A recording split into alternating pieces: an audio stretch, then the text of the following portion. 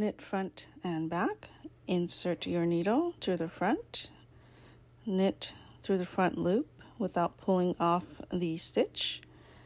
Then you want to knit through the back loop, so go to the back side, insert your needle through the back loop, and knit through the back loop.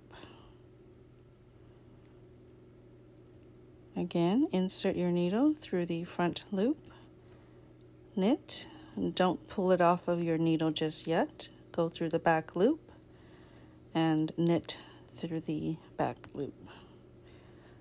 Okay, knit through the front, knit through the back. This is traditional style. Let's switch on over to continental. You want to insert through the front and knit the back loop and knit. And this is how